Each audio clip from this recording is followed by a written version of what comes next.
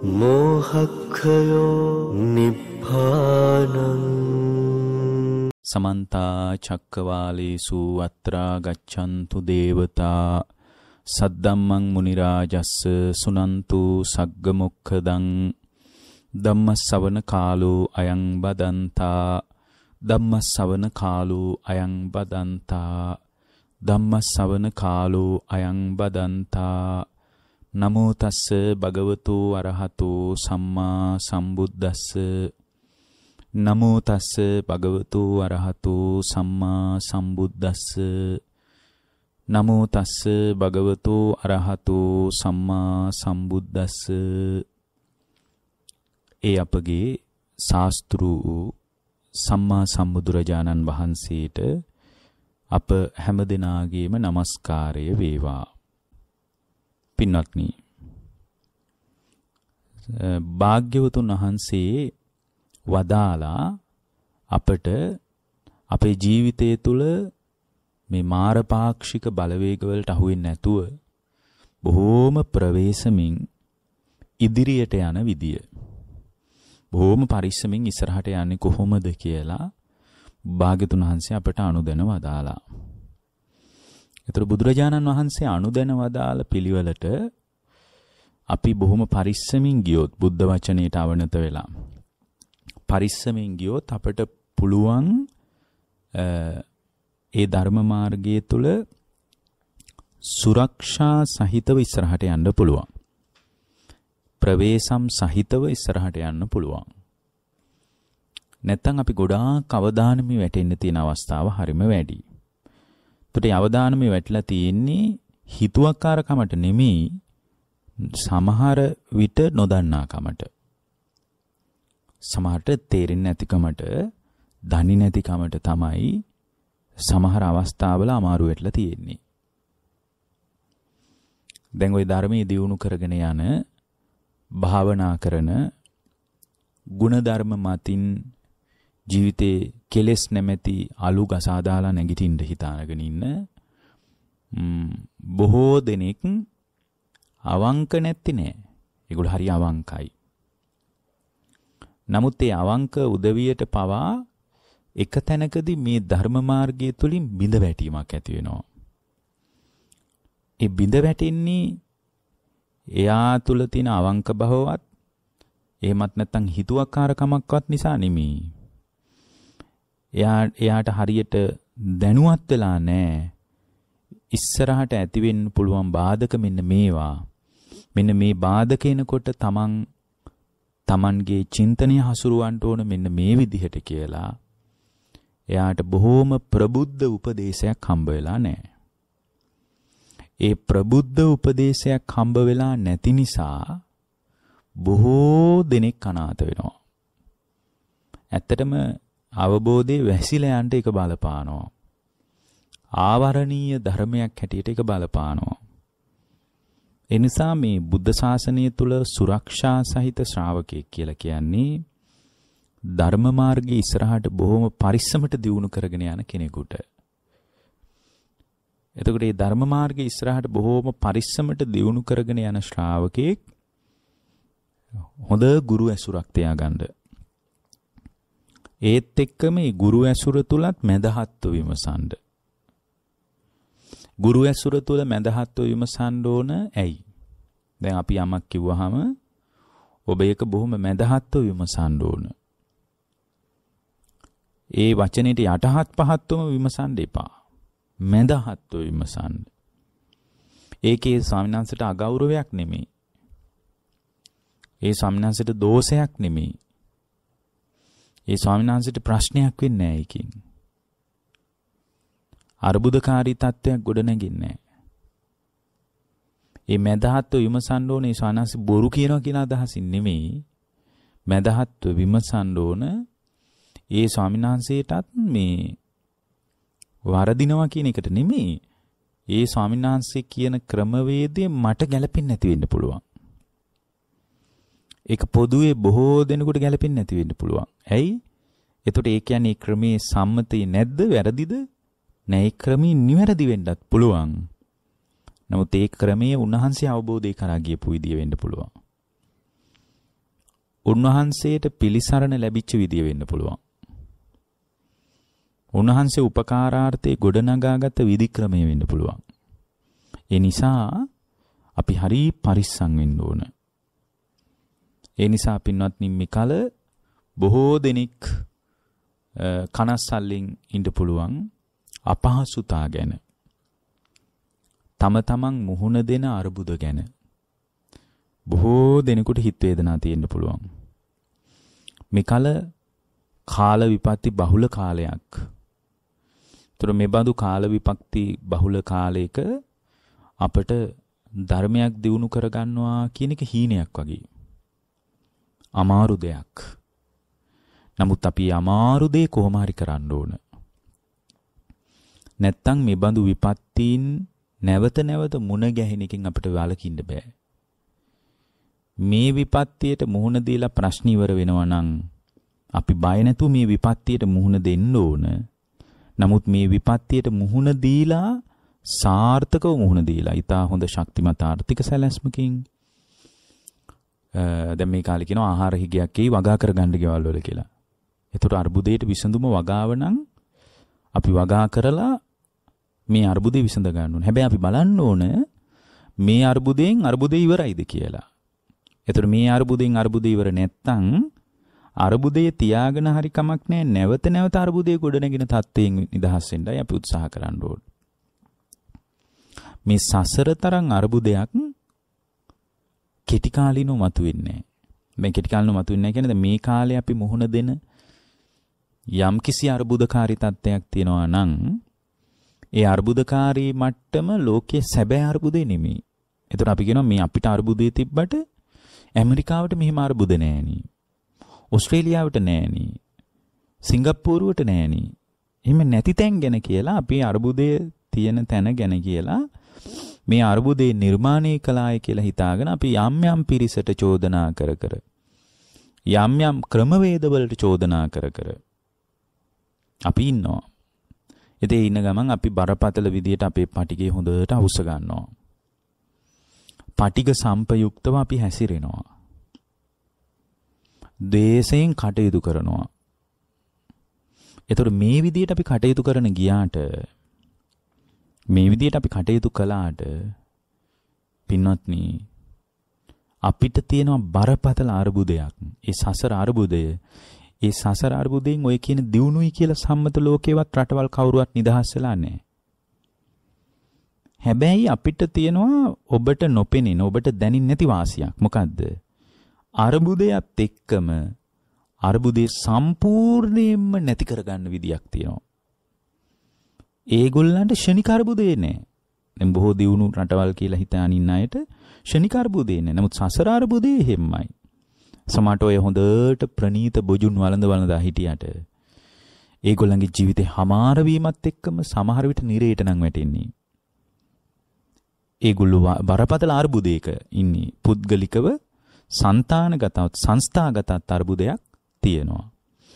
එතකොට මේ సంతానගත දුකිනුත් සංස්ථාගත දුකිනුත් දෙකෙන්ම නිදහස් වෙන්න පුළුවන් ක්‍රමවේදයක් අපට මුණ ගැහිලා තියෙනවා.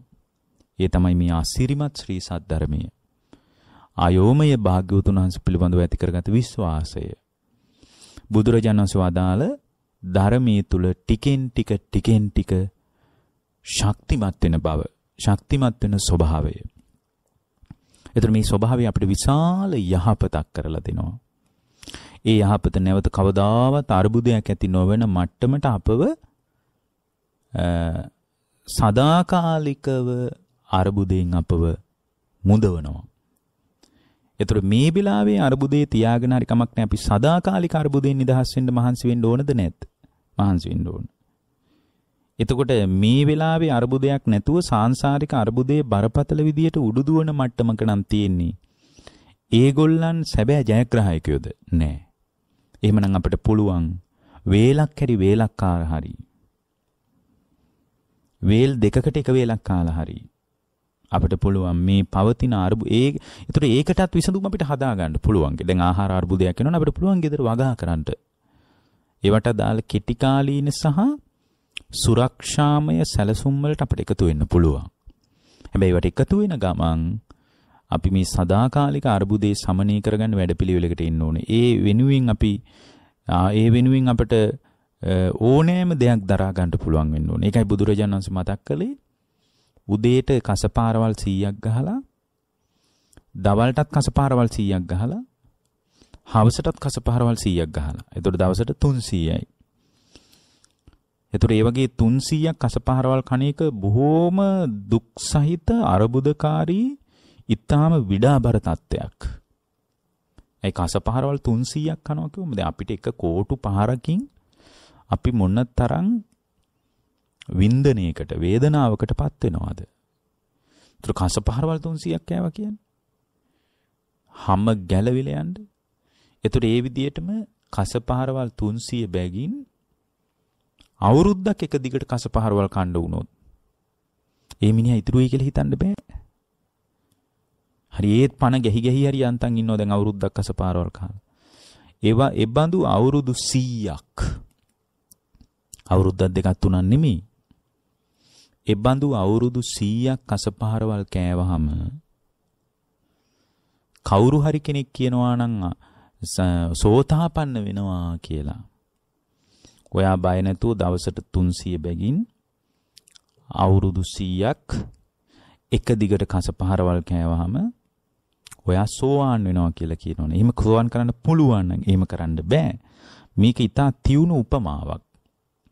එබඳු කසපහරවල් 100 බැගින් 300 බැගින් දිනකට අවුරුදු 100ක් කසපහරවල් කෑවහම කවුරු හරි කෙනෙක් කියනවා නම් ඔයා සෝතාපන්න වෙනවා කියලා බුදුරජාණන් වහන්සේ වදාලා එහෙම අප වුණොත් කවුරු හරි කෙනෙක් දෙවතාවක් හිතන්න එපා කියනවා.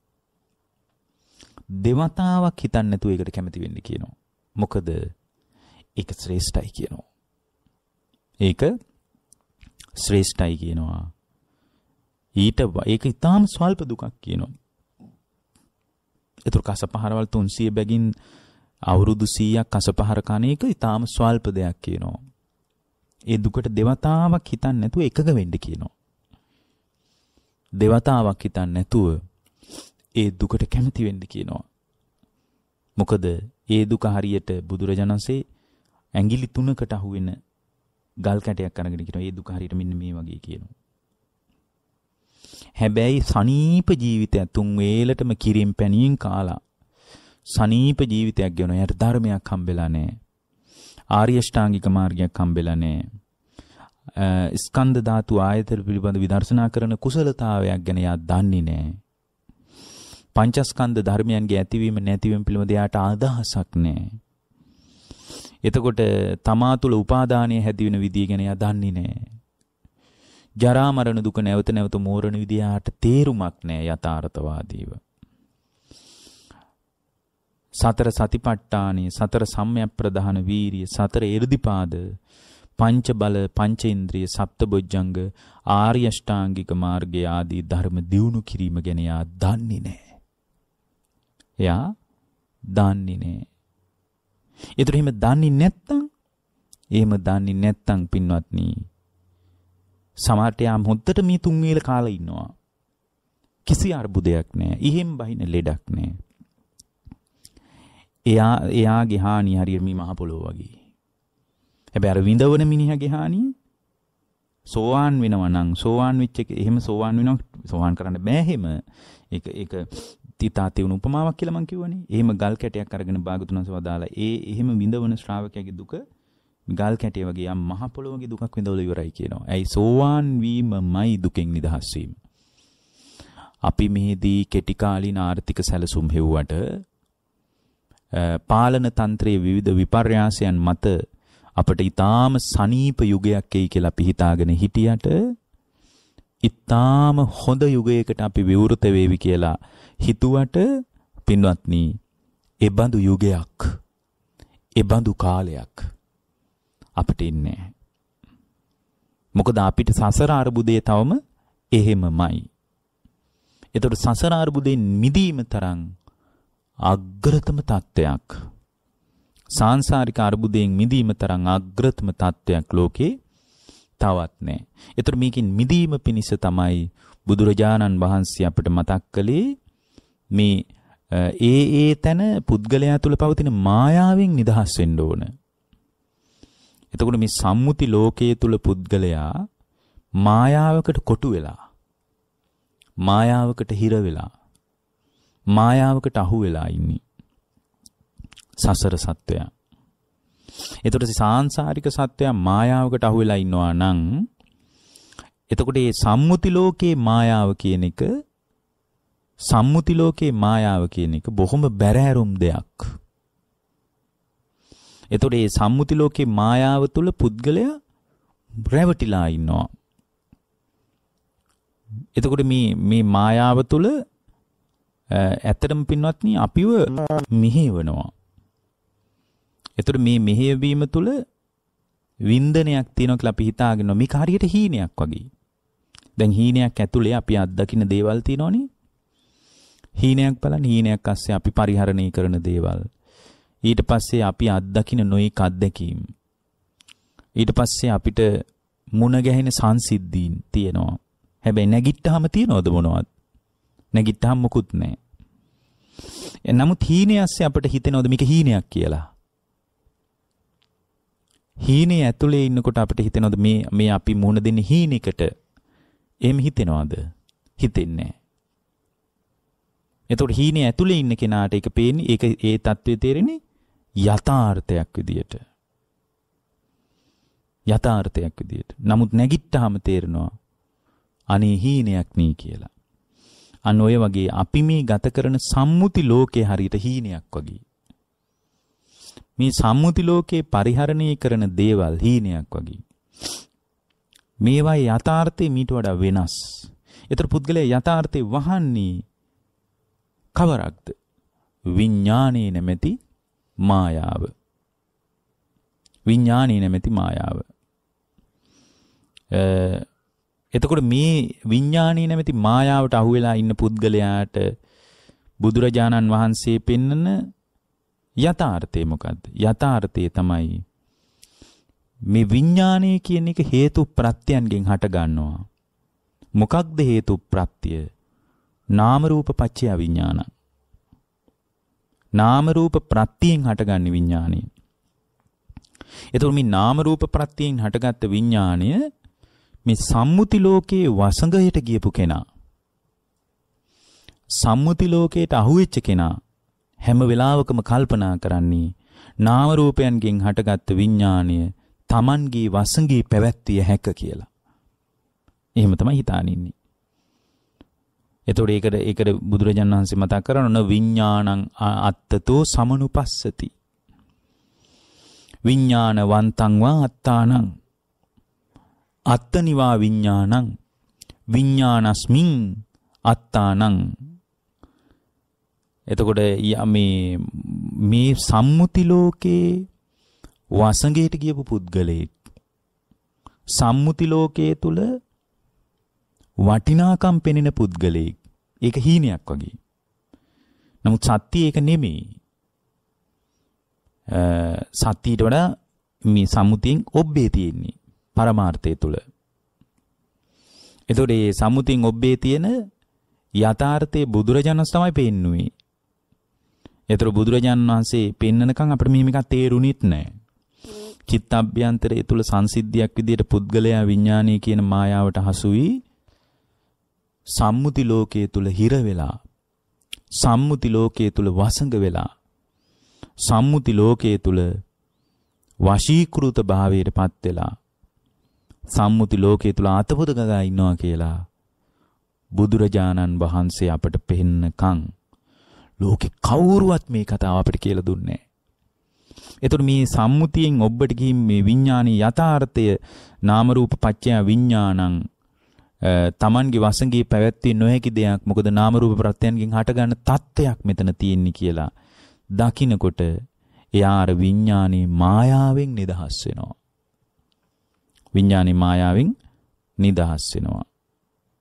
එතකොට විඥානේ මායාවෙන් නිදහස් වෙන පුද්ගලයෙකුට මොනවද දැනෙන తত্ত্বය? දැන් බලන්න බුදුරජාණන් වහන්සේ වදාලා හීනෙකට අහුවෙච්ච මිනිහෙක් වගේ විඥානී මායාවට අහුවෙච්ච පුද්ගලයා එයාගේ චින්තනය තුල කොහොමද එයා හැසිරෙන්නේ? එතන කියනවා විඥානං අත්තතෝ සමනුපස්සති. විඥානං අත්තතෝ සමනුපස්සති. විඥානයේ Tamanගේ වසඟේ පවත්වන්න පුළුවන් දෙයක් කියලා එයා මුලාවෙන් දකිනවා. ඒක හරියට හීනේ යථාර්ථයක් වගේ දකිනවා වගේ. ඊට පස්සේ ඊට පස්සේ විඥානවන්තං වාත්තානං විඥානේ ආත්මය විඥාණයෙන් හැදිලා තියෙනවා කියලා මුලාවෙන් දකිනවා. ඊට පස්සේ අත්තනිවා විඥානං අත්තනිවා විඥානං කියන්නේ ආත්මය තුල තමයි විඥාණය තියෙන්නේ. ආත්මය කියලා මෙතන කියන්නේ මොකද්ද? Tamanගේ වසඟේ පැවැත්විය හැකි తත්වයේ තුල තමයි විඥාණය තියෙන්නේ. එහෙම හිතනවා. Tamanගේ වසඟේ පැවැත්විය හැකි සීමාවේ තමයි විඥාණය තියෙන්නේ. මට ඕන ඕන විදිහට විඥාණය පවත්වන්න පුළුවන් කියලා හිතනවා. නමුත් දන්නේ මේ විඥානි කියන්නේම මායාවක් කියලා එයා දන්නේ නෑ. එයාට තේරෙන්නේ නෑ. ඉතින් මායාවක් නම් ඒ මායාවකම තමන්ගේ වසඟේ තියාගන්නේ. නමුත් එයා හිතනවා ආත්තනිවා විඥානං. එයා හිතනවා ආත්මය කියන්නේ විඥානයේ විඥානයේ තුලයි කියලා එයා මුලාවෙන් දකිනවා. විඥානී තියෙන ආත්මීය තුල ආත්මීය තියෙන විඥානීය තුල. ඒ කියන්නේ තමන්ගේ වසඟේ පැවැත්විය හැකි ස්වභාවය තුල විඥානීය තියෙනවා. විඥානී තමන්ගේ වසඟේ පවත්වන්නම පුළුවන් කියලා දෙපැත්තටම දකිනවා. ඒ දකිනකොට ඒ දැකීම පදනම් කරගෙන නමුත් දැන් මේ එයාගේ දෘෂ්ටියම අවුල් සහගත දෘෂ්ටියක්. ඇයි? විඥානී කියන්නේ මායාවක්. එයා හිතාගෙන ඉන්න தත්වෙට වඩා ඔබ්බේ පවතින தත්වයක්. පරමාර්ථ වශයෙන් බැලුවට පස්සේ තේරෙනවා මේ සම්මුති ලෝකයේ මිනිහෙක් අතපොත ගන්නේ මහා බොළඳ විදියට කියලා.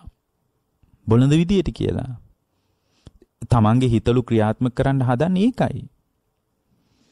එතකොට එහෙම හිතන ශ්‍රාවකයා තුල එහෙම හිත හිත හිටියාම තස්සතං විඥානං විපරිණාමති අඤ්‍යතා හෝති.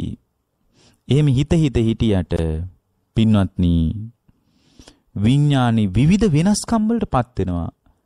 චක්කු විඥාණයෙන් සෝත විඥාණයට. සෝත විඥාණයෙන් ගාන විඥාණයට. ගාන විඥාණයෙන් ආය චක්කු විඥාණයට. ගාන විඥාණයෙන් මනෝ විඥාණයට. ওই විදියට විඥානි විවිධ වෙනස්කම් වලට පත් වෙනවා. එක එක පැතිවලින් විඥානි උපදිනවා. චක්කායතනේ පැත්තෙන් උපදිනවා. සෝතායතනේ පැත්තෙන් උපදිනවා. ගානායතනේ පැත්තෙන් උපදිනවා. ජීවහායතනේ පැත්තෙන් උපදිනවා. කායායතනේ පැත්තෙන් උපදිනවා. මනායතනේ පැත්තෙන් උපදිනවා. මේ විදිහට විවිධ වෙනස්කම් වලටපත් වෙනවා. බුදුරජාණන් වහන්සේ මතක් කරනවා තස්සතං විඥානං විපරිණාමති අඤ්‍යතා හෝති විවිධ වෙනස්කම් වලට වෙනත් ස්වභාවයන්ට පත් වෙනවා. තස්ස විඥානං විපරිණාමංච භාවා න විඥානං විපරිණාම විපරිණාමානු පරිවත්තති විඥානං හෝති තස්ස විඥාන විපරිණාම පරිවත්ත පරිවත්ති ජා පරිතස්සනා ධම්ම සමුප්පාදා චිත්තං පරියාදාය තිට්ඨති. බුදුරජාණන් වහන්සේ මතක් කරන මේ විදිහට විඥානි විවිධ වෙනස්කම් වලට විවිධ ස්වභාවයන්ට පත් වෙද්දී ඒ විඥානි වෙනස්කම් වලට පත්වීම පදනම් කරගෙන පරිවර්තන ඒ ඒ විවිධ වෙනස්කම් වලට පත්වීම පදනම් කරගෙන එයාට දුක හට ගන්නවා. ඇයි? එයා හිතාගෙන හිටියේ තමන්ගේ වසඟේ පවත්වන්න පුළුවන් දෙයක් හැටියට ආත්මසාරින් පිළිගත්තේ. මෙතන ආත්ම කියලා කිව්වේ මොකද්ද? තමන්ගේ වසඟේ පැවැත්විය හැක කියන අදහස. නමුත් එහෙම පවත්ව ගන්න බෑ. විඥානි විපරිණාමයටපත් වෙනකොට එයාට දුක හට ගන්නවා. නමුත් දැන් විඥානී නාම රූප ධර්මයන්ගෙන් හටගත්ත දෙයක්. පටිච්ච සමුප්පාදේ පැහැදිලි කරද්දී අපි කියලා දීලා තියෙනවා. විඥානේ හටගන්නේ නාම රූප ධර්මයන්ගෙන්. එතකොට නාම රූප ධර්මයන්ගෙන් විඥානය හටගත්ත දෙයක් විදියට දකිනකොට ඒ ශ්‍රාවකයා තුල න විඥානං අත්තතෝ සමනුපස්සති විඥානය ආ Tamanගේ වසඟී පැවැත්තිය හැටි දෙකක් දෙයක් විතර ඔයා මුලාවෙන් දකින්නේ නැහැ. අන්න එහෙනම් සෝතාපන්න වෙන්න තියෙන්නේ නාම රූප පත්‍ය මේ විඥාන නාම රූප නාම රූප පත්‍ය විඥානං කියන පරයයන් චතුරාර්ය සත්‍යයෙන් බැලීමෙන් තමයි සෝවන්නට තියෙන්නේ. ඇයි? බුදුරජාණන් වහන්සේ මතක් කරනවා විඥානයේ පිළිබඳ අවබෝධයක් හදාගත්ත ශ්‍රාවකයා මොන අවබෝධයක්ද? නාම රූප ධර්මයන්ගෙන් හටගත්ත දෙයක් විඥාණය. ඒ කියන්නේ විඥානයේ පහළවීම දුකක් වශයෙන් විඥානයේ පහළවීම දුකක් වශයෙන් විඥානයේ හටගන්නේ නාම රූප ධර්මයන්ගෙන් අන්න සමුදය පේනවා යාට. සමුදයක් පේනවා. සමුදය පේනවා. ඊට පස්සේ ඊට පස්සේ විඥානේ නිරුද්ධ වෙන්නේ කොහොමද? නාම රූප නිරුද්ධ වෙමින් විඥානේ නිරුද්ධ වෙලා යනවා. ඊට පස්සේ තව තැනකින් පහළ වෙනවා. අනු විපරිණාමයට පේනවා. Nirodhe දකින්නකොට එයාට තේරෙනවා මෙන්න මාගේ වසඟේ පවත්වන්න පුළුවන් එකක් නෙමෙයි. නාම රූප ධර්මයන් පහළ වෙනකොට නාම රූප පරයයන් විඥානේ පහළ වෙනවා. නාම රූප නිරුද්ධ වීමෙන් විඥානේ නිරුද්ධ වෙලා යනවා. නමුත් එයාට මේ කතාව තේරෙන්නේ නැහැ. විඥානේ නිරුද්ධ කිරීමේ ප්‍රතිපදාව සම්මා දිට්ඨියයි. එතකොට මේ විදියට යම් කෙනෙක් කාර්ය සත්‍යයෙන් බැලුවට පස්සේ යාට එතනින්නේ එයාට තේරෙන්නේ එයා අවබෝධ කරගන්නේ මොකද්ද පින්වත්නි? එයා අවබෝධ කරගන්න එක දෙයක්. ඒ අවබෝධ කරගන්න දේ තමයි නාම රූපයන්ගෙන් විඥානය හට ගන්නවා. නාම රූප නිරුද්ධ වීමෙන් විඥානය නිරුද්ධ වෙනවා. ඒ නිසා චතුරාර්ය සත්‍යයෙන් තොර සෝවාන් වෙන්න බෑ කිව්වේ ඒකයි. චතුරාරි සත්‍යයෙන් තොරව පින්වත්නි අපිට සෝවාන් වෙන්න විදියක් නැහැ. ඇයි සක්කාය දිට්ඨිය දුරු වෙන එක තමයි මේ සක්කාය දිට්ඨිය දුරු වෙනවා කියන්නේ මොකද්ද? විඥානං අත්තතෝ සමනුපස්සති කියන විදිහට හිතන්නේ එයා හිතන්නේ මොකද්ද? න විඥානං අත්තතෝ සමනුපස්සති. නාම රූපයන්ගෙන් හටගත්ත විඥාණය Tamanගේ වසඟේ ඇති වසඟේ පැවැත්විය හැකි දෙයක් විදිහට මුලාවෙන් එයා දකින්නේ නැහැ. ඒක තමයි සෝතාපන්න తත්වය. ඒක තමයි සෝතාපන්න తත්වය. න විඥාන වන්තං වා අත්තානං ඒ වගේම ආ මේ තමන්ගේ වසඟේ පැවැත්විය හැකි ස්වභාවයෙන් විඥානයේ හැදිච්ච එකක් කියලා යා මුලාවෙන් දකින්නේ නැහැ. එයා දකින්නේ නාම රූප ධර්මයන්ගෙන් විඥානය හටගත්තා කියලයි. එයා දකින්නේ අන්නේ විදියටයි. නාම රූප ධර්මයන්ගෙන් විඥානය හටගත්තා කියලයි. ඒ වගේ මේ ශ්‍රාවකයා තුල න ඊට පස්සේ ශ්‍රාවකයා තුල න අත් න අත්ත අත්ත නිවා විඥාන න අත්ත නිවා විඥාන න අත්ත නිවා විඥාන මොකද්ද පින්වත්නි ඒ වගේම Tamanගේ වසඟේ පැවැත්විය හැකි ස්වභාවයක් විඥාණයට තියනවා කියලා එයා මුලාවෙන් දකින්නේ නැහැ. ඇයි? එයා දකින්නේ නාම රූප පත්‍ය විඥානම් පරයයි. නාම රූප නිරුද්ධ වීමෙන් විඥාණය නිරුද්ධ වෙනවා කියන පරයයෙන් දකින්නේ. ඊට පස්සේ ඊට පස්සේ ඒ ශ්‍රාවකයා න විඤ්ඤා මෙතන න කියලා තියෙනවා නැතාර්ථය නැතාර්ථය තියෙනවා න විඤ්ඤානස්මින් වා අත්තානං මොකද්ද ආත්මය තුල තමයි විඥානය තියෙන්නේ කියලා. ආත්මය කියලා මෙතන කිව්වේ Tamanගේ වසඟේ පැවැත්විය හැකි ස්වභාවයක් තමයි විඥානය තියෙන්නේ කියලා යා මුලාවෙන් දකින්නේ නැහැ. ඒ දකින්න නැත්තේ ඇයි? එයා ඒ දැක්ම නැති වෙන මට්ටමට එයාට උදව් කළේ මොකද්ද? චතුරාරි සත්‍ය දැක්ම. විඥානී කියන්නේ දුක. විඥානී පහළ වීම කොතන තිබ්බත් දුක තියෙනවා. දුක ගලනවා. විඥානී පහළවීම ඇති වෙන්නේ නාම රූප ධර්මයන්ගේ පර්යායෙන් නාම රූප පච්චයා විඥානං නාම රූප ධර්ම නිරුද්ධ වීමෙන් විඥානයේ නිරුද්ධ වී යනවා. මට ඕන ඕන විදියට නිරුද්ධ වෙනවා නෙමෙයි. හැබැයි මේ පරමාර්ථ සත්‍යයට එකතු වෙන්න තියෙන්නේ දකින්න විදිය වෙනස් කරගන්න එක සම්මාදිට්ඨියට එන එක. මෙන්න මේ විදියට දැක්කට පස්සේ යාට ආත්මීය සාරේ නෙමෙයි පේන්නේ. නාම රූපවල සාරයෙන් විඥානය හට ගන්නවා කියලායි පේන්නේ.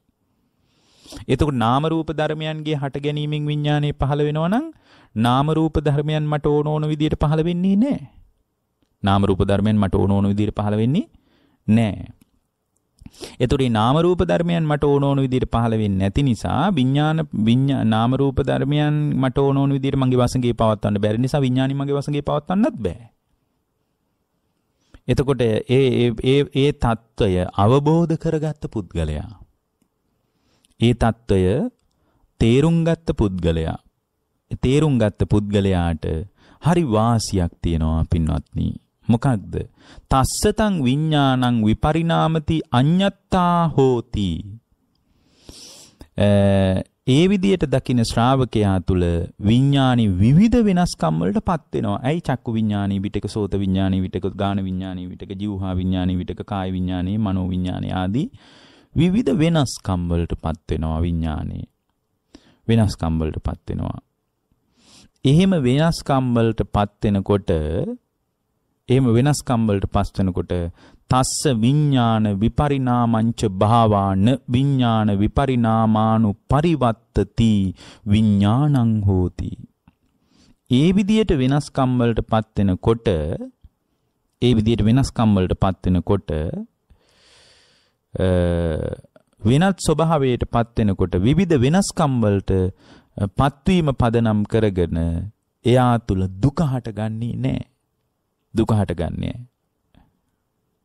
දුක හටගන්නේ පින්වත්නි. ඒ දුකෙන් තැති ගැනීමෙන් ලොමු දැහැ ගැන්වීම වලින් එයාගේ හිත යට කරන්නේ නෑ. ඒකයි මෙතන කියන්නේ විඥාන විපරිණාමානු පරිවත්ත පරිවත්ත පරිවත්ති ජහා පරිතස්සනා ධම්ම සමුප්පාදා චිත්තන්න පරියාධාය තිට්ඨති එතකොට එයා තුල දුක හටගන්නේ ඒ හටගන්න නැති නිසා මේ දුකෙන් හිත යට කරන්නේ නැහැ. ඒ හිතින් යට වූ සිතකින් යුතුව තැති ගැනීම නැතුව අපේක්ෂා රහිතවයි ඒ ශ්‍රාවකයාගේ ජීවිතේ ගෙවෙන්නේ අපේක්ෂා රහිතවයි. එතන ඒ පුද්ගලයාට උපා විඥාන උපාදානයක් පවතින්නේ උපාදානයක් පවතින්නේ කියන්නේම ඒක ඒකට සාපේක්ෂව භවයේ පැනවෙන්නේ කියන එකයි. භවයේ පැනවෙන්නේ කියන්නේම ඒකට සාපේක්ෂව ජාතිය පැනවෙන්නේ කියන එකයි. ජාතිය පැනවෙන්නේ කියන්නේම ඒකට සාපේක්ෂව ජරා මරණ පැනවෙන්නේ නෑ කියන එකයි. උන් ඔය විදියටයි ඒවංකෝ භික්කවේ අනුපාදා පරිතස්සනා හෝති. උන් ඔය විදියටයි විඤ්ඤාණස්කන්ධයට නොබැඳී දුක දුරු කරන්නේ කියලයි බුද්ධ දේශනාව තේරුම් කරන්නේ. ඒවංකෝ භික්කවේ අනුපාදා පරිතස්සති. උපාදාන රහිතව ජීවිත ගෙවනවා කියන ඕනෝකටයි. නමුත් මේ සම්මුති ලෝකයේ තුල ඉන්න ශ්‍රාවකයෙක් හැමදාමත් මේ යථාර්ථයේ තේරුම් අරගෙන නෑ පින්වත්නි. එතන මේ යථාර්ථයේ තේරුම් ගැනීම කියන එක චතුරාර්ය සත්‍ය අවබෝධයෙන් තොරව කරන්න බෑ. දැන් බලන්න මෙතන චතුරාර්ය සත්‍ය පරියාය නේද ඒ ශ්‍රාවකයා බැලුවේ. එතකොට නේද යාට තේරුණේ මේ නාම රූප ධර්මයන්ගෙන් හටගත්ත විඥානයක් තියෙනවා. ඒ බඳු විඥානයක් ආත්මීය සාරයෙන් ඒ කියන්නේ Tamanගේ වශයෙන් පැවැත්විය හැකි ස්වභාවයෙන් ගන්න එක සුදුසුම නෑ. සුදුසුම නෑ. හේතුව ඒක හේතුවකින් ඇතිවෙච්ච ඵල ධර්මතාවයක්. ඒක හේතුවකින් ඇතිවෙච්ච ඵල ධර්මතාවයක්. හේතු නිරුද්ධ වීමෙන් නිරුද්ධ වී යන ස්වභාවයක් තියෙන්නේ. හේතු නිරුද්ධ වීමෙන් නිරුද්ධ වී යන ස්වභාවයක් තියෙන්නේ. එතකොට මේ විදිහට දකින ශ්‍රාවකයා තුල තමයි සංයෝජනයන්ගෙන් ගැලවෙන්නේ හිත. දැන් බලන්න මේ විදිහට දකින පුද්ගලයා තුල ආයි දිට්ඨිය දුරු වෙනවා. ආත්ම ආත්ම දෘෂ්ටිය දුරු වෙනකොට ඒ ඒ පුද්ගලයා තුළ සක්කාය පවතින්නේ නැහැ. එතකොට සක්කාය නොපැවැත්ම පිණිස එයාගේ චින්තනයට උදව් කළේ මොකද්ද? සක්කාය නොපැවැත්වීම පිණිස එයාට උදව් කළේ චතුරාර්ය සත්‍ය ධර්මියොස්සේ ගැඹුරු විමසුමකට එකතු වෙන එක. ඒක තමයි යාට උදව් කළේ. චතුරාර්ය සත්‍ය ඔස්සේ ගැඹුරු විමසුමකට එකතු වෙන එක. වෙන දෙයක් නෙමෙයි යාට උදව් කළේ. වෙන කාරණයක් නෙමෙයි යාට උදව් කළේ. ඊට පස්සේ ඊට පස්සේ පින්වත්නි බුදුරජාණන් වහන්සේ ඔකට බුදුරජාණන් වහන්සේ වදාලා ඒ බඳු ශ්‍රාවකයෙක් තුල ක්‍රමානුකූලව ක්‍රමානුකූලව විචිකිච්ඡාව දුරු වෙනවා. සැකයක් නැහැ. එයාට මේ පරමාර්ථ සත්‍යයෙන් බලනකොට සම්මුති ලෝකයේ පිළිබඳ දෝලණය වීමක් නැහැ. සාරයක් තියනවද දන්නෙත් නැහැ. නැද්ද දන්නෙත් නැහැ. ඔයගේ සැක නැහැ. ඒතර පුද්ගලයා තුළ මෙබඳු ආකාරයකට ආත්ම දෘෂ්ටිය පවතින තාක්කල් සසර පැනවෙනවාමයි කියන කෙන සැක නෑ යාට. එතකොට පෙර භවයේද මෙබඳුම ආකාරයකට උපාදානීය ස්වභාවයේ නිසාම ගොඩනැගිච්ච තත්වයක් කියන ගැන සැක නෑ යාට. පසු භවයේ ගැන එහෙනම් මේ සක්කාය දිට්ඨිය දුරුනොත් එහෙම උද්වේගකාරීව පසු භවයේ පැනවෙන්නේ නැති බව එයා දන්නවා. ඉපදෙනවා කියන එක ගැනත් එයාට සැකයක් නැහැ. එයාට තේරෙනවා මේ අභ්‍යන්තර චිත්තසංතානිය තුළ ගොඩනැගෙන ක්ලේශ ධර්මයන් පදනම් කරගෙන නැවත නැවත නැවත නැවත ඉපදෙමින් මැරෙමින් ඉපදෙමින් මැරෙමින් යන සාංශාරික ගමනක් අපට පැනවී තියෙනවා කියන කාරණේ ශ්‍රාවකයා දන්නවා. එයා දන්නවා. ඒ නිසා සැකයක් නැහැ. බුදුරජාණන් වහන්සේ සැකයක් නැහැ. එයාට බුදුරජාණන් වහන්සේගේ සරුවඥතා ඥාණී ගැන පුදුමාකාර පැහැදීමක් තියෙන. ඒක වෙනස් කරන්න බෑ.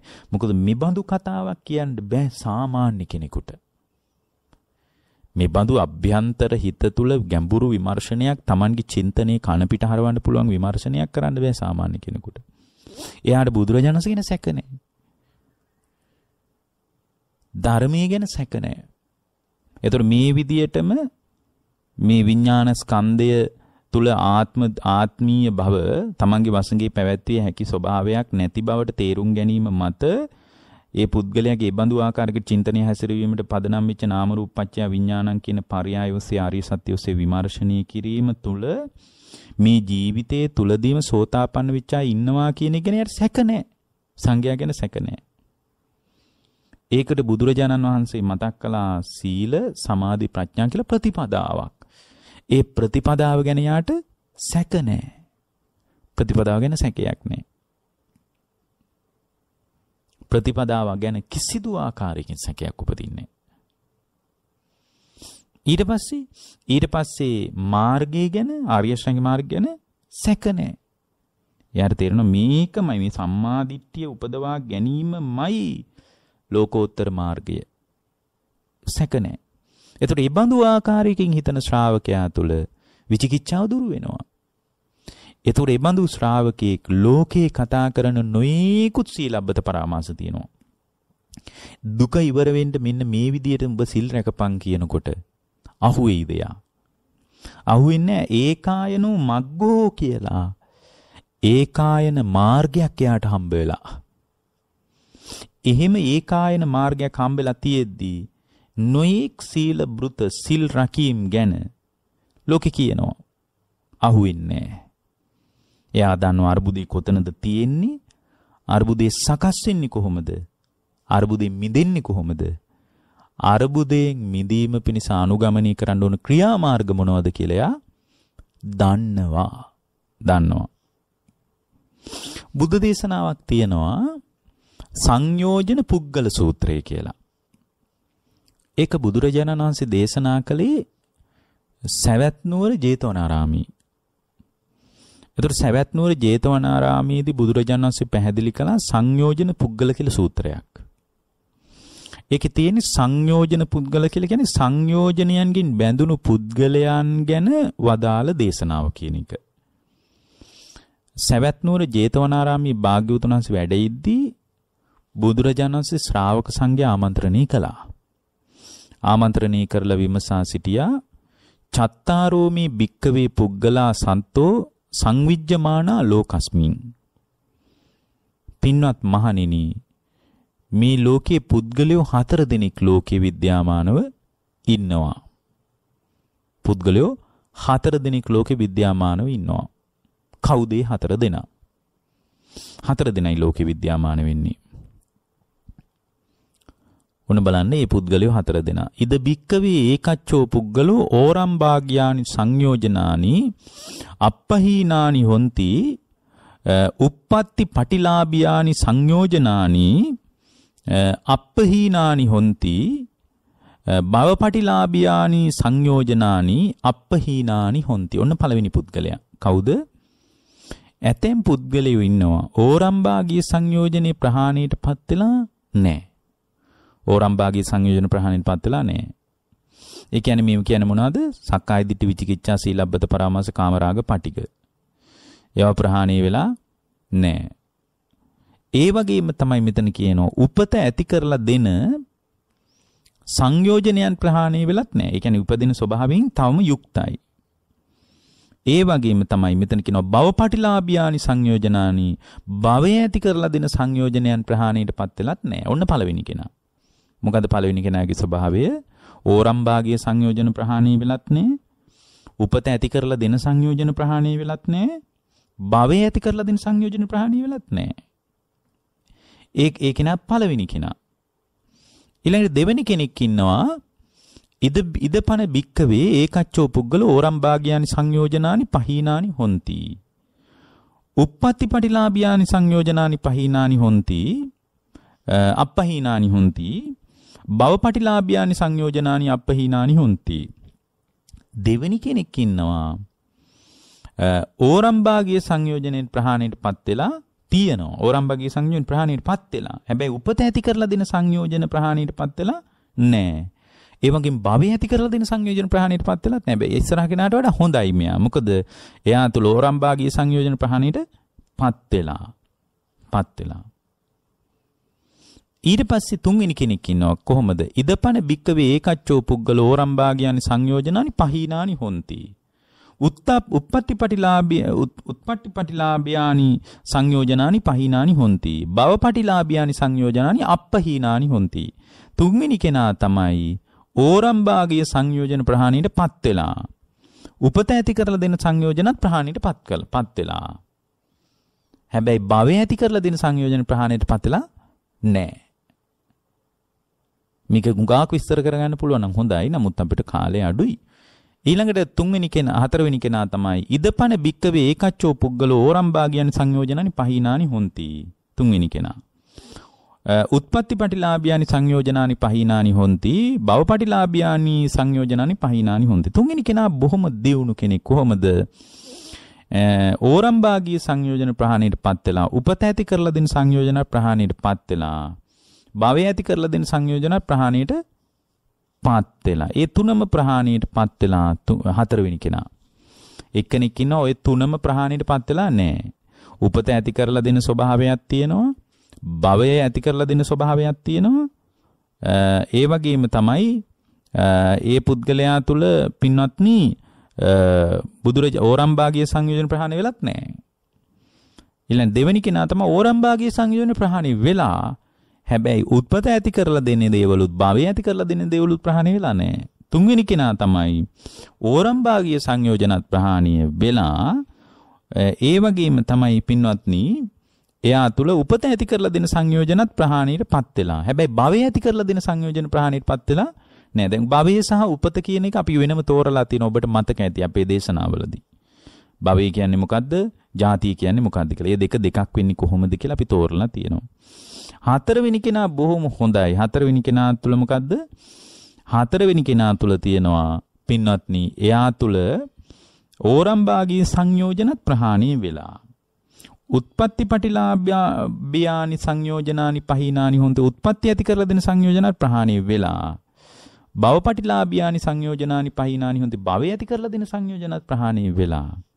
මොකද්ද මේ හතර දෙනා? ඔන්න පළවෙනි කෙනා ගැන තෝරනවා. කතමස්ස භික්කවේ පුද්ගලස්ස ඕරම්භාගයානි සංයෝජනානි අප්පහීනානි උත්පට්ටිපටිලාභයානි සංයෝජනානි අප්පහීනානි භවපටිලාභයානි සංයෝජනානි අප්පහීනානි.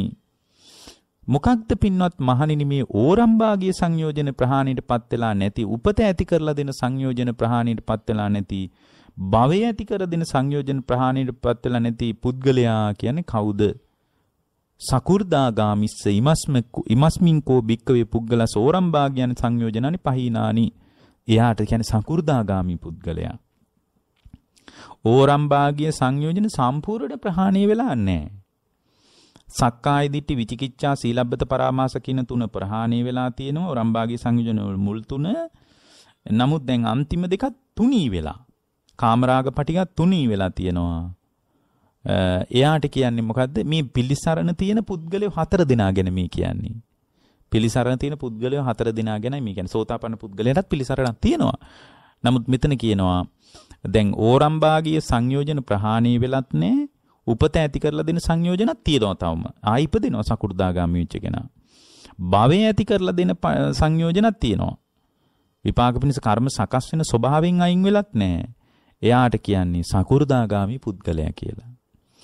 ඒ වගේම තමස්ස බික්කවේ පුද්ගලස ඕරම්භාගයන් සංයෝජනානි ඕරම්භාගයේ සංයෝජන ප්‍රහාණය වෙලා උත්පත්ති පටිලාභයානි සංයෝජනානි අපහීනානි හැබැයි උපත ඇති කරලා දෙන සංයෝජන ප්‍රහාණයටපත් වෙලා නැහැ. භවය ඇති කරලා දෙන සංයෝජන ප්‍රහාණයටපත් වෙලත් නැහැ. කවුද මේ පුද්ගලයා? කවුද මේ පුද්ගලයා? එතකොට එතන කියනවා උද්දං සෝතස්ස අකනිට්ට ගාමිනියෝ එයාට එයාට කියන්නේ පින්වත්නි උඩු අතට අකනිටා බඹලෝතෙක් යන්නා වූ පුද්ගලයා. ඇයි අකනිටා බඹලෝවට යන්නේ? පින්වත්නි ඕරම්භාගීය සංයෝජන ඔක්කොම ප්‍රහාණය වෙලා. ඒ කියන්නේ අනාගාමි වෙලා. හැබැයි එයා තුල පින්වත්නි එයා තුල අනාගාමි වුණාට එයා තුල පින්වත්නි භාග්‍යවතුන් වහන්සේ මෙතනදී අපට පැහැදිලි කරනවා උපත ඇති කරලා දෙන සංයෝජනේ ප්‍රහාණයටපත් වෙලත් නැහැ භවය ඇති කරලා දෙන සංයෝජනේ ප්‍රහාණයටපත් වෙලත් නැහැ එයාට කියන්නේ අනාගාමි කෙනා. හැබැයි අනාගාමී කෙනාගෙත් පියවර කීපයක් තියෙන බව අපට තේරෙනවා. කතමස්ස තුන්වෙනි කෙනා බලන්න. කතමස්ස බික්කවේ පුද්ගල සෝරම්භාග්‍යානි සංයෝජනානි පහීනානි. උත්පත්ති පටිලාභ්‍යානි සංයෝජනානි පහීනානි. භවපටිලාභ්‍යානි සංයෝජනානි අපහීනානි. තව කෙනෙක් ඉන්නවා ඕරම්භාගී සංයෝජන ප්‍රහාණයටපත් වෙලා. ඒ කියන්නේ නම් අනිවාර්යෙන් අනාගාමී වෙලා. උපත ඇති කරලා දෙන සංයෝජන ප්‍රහාණයටපත් වෙලා තියෙනවා. උපත ඇති කරලා දෙන සංයෝජනත් නම් ප්‍රහාණයටපත් වෙලා. හැබැයි භවය ඇති කරලා දෙන සංයෝජන ප්‍රහාණයටපත් වෙලා නැහැ. භවය ඒ කියන්නේ තවදුරටත් කෙලෙස් සංසිඳිලා යාග තුල. එයාට ඒ කියන්නේ කවුද? ඒ කියන්නේ පින්වත්නි අන්තරා පරිනිබ්බායිස්ස ඉමස්සකෝ භික්කවේ පුද්ගලස්ස ඕරම්භාගයානි සංයෝජනනි පහිනානි. එයාට කියන්නේ ඒ පුද්ගලයා කවුද? ඒ පුද්ගලයා තමයි සුද්ධාවාස බඹලෝ උපදින අන්තරා පරිනිබ්බායි කියලා කියන්නේ. ඒ එතකොට එයත් එයයි ඒ කියන්නේ අනාගාමී ශ්‍රාවකයන් අතර පවතින විභජනය බලන්න බෙදීමක් තියෙනවා. අන්තරා පරිනිබ්බායි. ඇයි යාට අන්තරා පරිනිබ්බායි කියලා කියන්නේ? අන්තරා පරිනිබ්බායි කියලා කියන්නේ පින්වත්නි භවපටිලාභියානි සංයෝජනානි. භවය ඇති කරලා දෙන සංයෝජනත් ප්‍රහාණය වෙලා ඕරම්භාගීය සංයෝජනත් ප්‍රහාණය වෙලා. ඒ කියන්නේ ඕරම්භාගීය සංයෝජනත් ප්‍රහාණය වෙලා උත්පත්ති පටිලාභියානි සංයෝජනන් උපත ඇති කරලා දෙන සංයෝජනත් ප්‍රහාණය වෙලා. හැබැයි භව භවය ඇති කරලා දෙන සංයෝජන සම්පූර්ණයෙන් ප්‍රහාණය වෙලා නැහැ. ඒ නිසා එයාට කියනවා අන්තරා පරිනිබ්බායි කියලා. එයා කොහෙද උපදින්නේ? සුද්ධාවාසෙ උපදිනවා. එහෙම්ම පිරිනිවන් පානවා. එහෙම්ම පිරිනිවන් පානවා. මොකද උත්පත්තිය උත්පත්තිය ඇති කරලා දෙන සංයෝජනයයි ප්‍රහාණය වෙලයි තියෙන්නේ. එතකොට මේකේ අග්‍රතම පුද්ගලයා ගැන ධර්මයේ සඳහන් කරන මොකද්ද? කතමස්ස බික්කවේ පුද්ගලස ඕරම්භාගයානි සංයෝජනානි පහීනානි උත්පත්ති පටිලාභයානි සංයෝජනානි පහීනානි භවපටිලාභයානි සංයෝජනානි පහීනානි එතකොට ඕරම්භාගිය සංයෝජනයටත් සංයෝජනත් ප්‍රහාණයටපත් වෙලා උපත ඇති කරලා දෙන සංයෝජනත් ප්‍රහාණයටපත් වෙලා භවය ඇති කරලා දෙන සංයෝජනත් ප්‍රහාණයටපත් වෙච්ච පුද්ගලයෙක් ඉන්නවා. ඒ කවුද? කවුද? ඒ තමයි පින්වත්නි භාග්‍යතුන් වහන්සේ මතක් කළා අරහතෝ ඉමස්සකෝ බිග්ගවේ පුද්ගලස ඕරම්භාග්‍යනි සංයෝජනානි පහීනානි අරහත්වයට පත්තුණු ඒ උත්තමයන් වහන්සේ උන්වහන්සේ තුල භවයත් ප්‍රහාණී වෙලා ඊට පස්සේ සංයෝජනත් ප්‍රහාණී වෙලා උපත ඇති කරලා දෙන සංයෝජනත් ප්‍රහාණී වෙලා. එතකොට මේ මේ தත්වයන් හතරටම මේ தත්වයන් හතරටම සංයෝජන පුද්ගල සූත්‍රයේ පැහැදිලි මේ தත්වයන් හතරටම තියෙන්නේ පුද්ගලයාට ආර්ය සත්‍ය ඔස්සේ බලන එක. 11 ආකාරකින් විදර්ශනා කරන එක. අතීත සංකාර, අනාගත සංකාර, වර්තමාන සංකාර අජ්ජත් බහිද්ද කියන පස් තැනකදී 11 ආකාරයකින් විදර්ශනා කරන එකමයි එකම විකල්පය. එකම මාර්ගයේ සම්මා දිට්ඨිය. එතකොට සම්මා දිට්ඨික පුද්ගලයා තුළ තමයි විදර්ශනා සම්මා දිට්ඨිය උපදින්නේ. ඒකෙන් තොරව මේ පුද්ගලයා හතර දිනාම බිහි වෙන්නේ නෑ පින්වත්නි. එහෙමනම් මේ හතර දිනාම බිහි වීම පිණිස අපිට චතුරාර්ය සත්‍යයෙන් තොරව දැක්ම හදාගන්න වෙන විදික්‍රමයක් නෑ.